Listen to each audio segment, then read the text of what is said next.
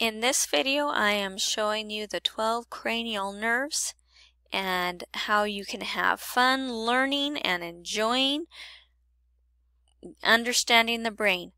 So on this left hand side I'm going to be drawing the location of the 12 cranial nerves basically in a face and then on this right hand side I'm going to be putting those 12 cranial nerves in order of um, the number that they're associated with.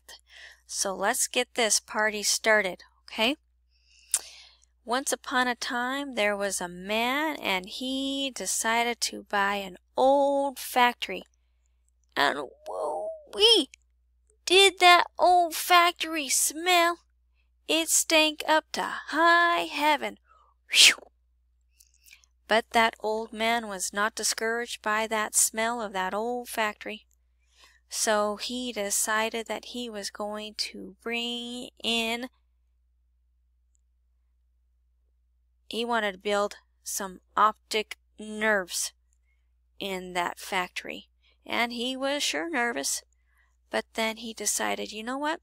If I'm going to build optic nerves, I need to bring in ocular motors. Those ocular motors he knew were going to be super powerful. And guess what?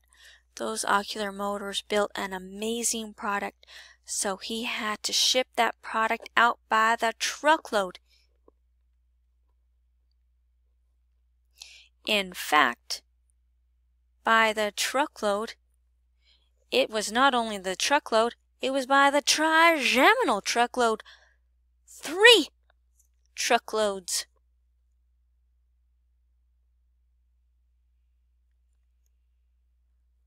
Three truckloads.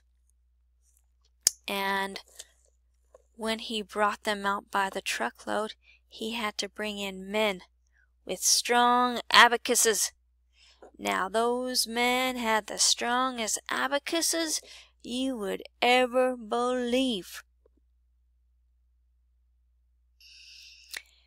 Now, those men with the strong abacuses had to think and think. And they were so, their abs were so strong that they had to make a crazy face.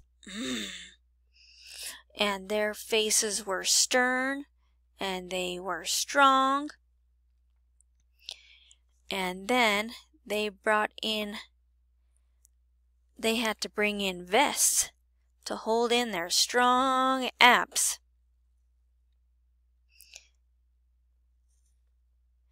Now those men in those vests were amazing.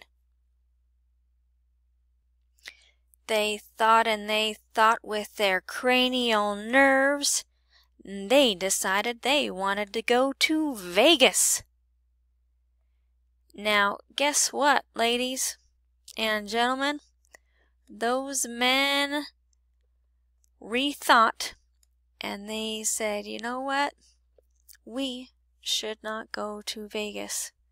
So they shrugged their shoulders and they decided that they were going to access the city and of hypoglossal so they stepped on over to hypoglossal, and man, that is how the old factory became the best old factory in hypoglossal.